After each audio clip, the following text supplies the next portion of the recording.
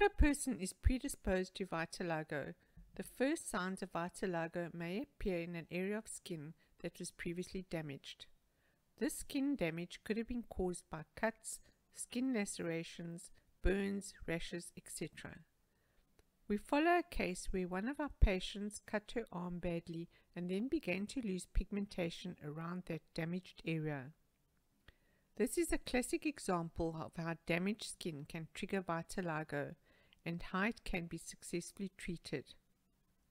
The patient in this case study purchased our Vitilox products online.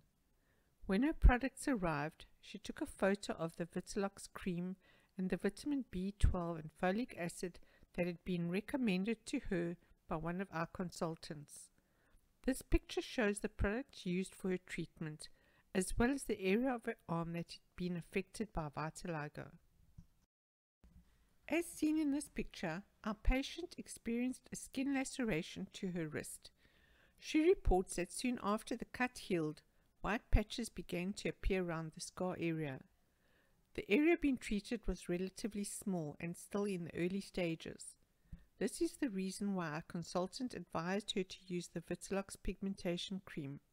She also advised the use of our slow absorbing Vitilox B12 and folic acid tablets. These tablets would not only replace essential ingredients to the skin, but also prevent any further spread of vitiligo. It's important to stop the spread of vitiligo while treatment is underway with our pigmentation cream. Untreated, the vitiligo could spread in this area and may even spread to other parts of her body. A few weeks later, she sent us this photo showing the vitiligo patch now half the size it was before treatment began. This picture was taken three weeks into treatment. Treatment involved the application of the Vitilox pigmentation cream twice a day, evenings and mornings, to the affected vitiligo area. The cream absorbs quick and fast into the inner skin and stimulates the melanocytes into producing pigment again. The Vitilox B12 and folic acid was taken daily. Clearly, her melanocytes have been repaired and are producing melanin again. Finally, after seven weeks, her treatment was complete.